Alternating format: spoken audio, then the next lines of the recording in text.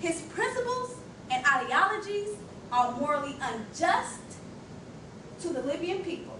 He must be stopped and implement a real constitution with just ideals. Libyan people are living on a socialism de demographic, which just focus on person principles and ideologies when a government should be a collective unit focusing as one body and one principle. As the United States, we have a right to speak against the government. So do I feel the Libyan people should have that right as well. We have groups, as I mentioned before, such as the Tea Party, who consistently speaks against the government on the problematic issues.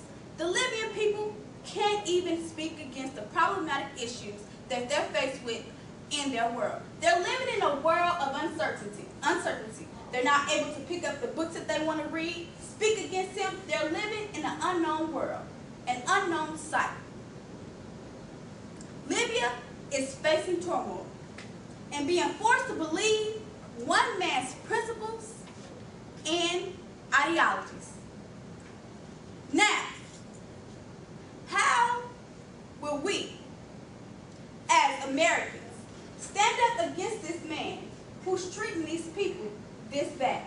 Who's who's who's bluntly beating these people? Who's treating them because he don't even know what he's doing. He's living off his own mind his own values. His one main focus is oil. Thank you for your time. Thank you, thank you.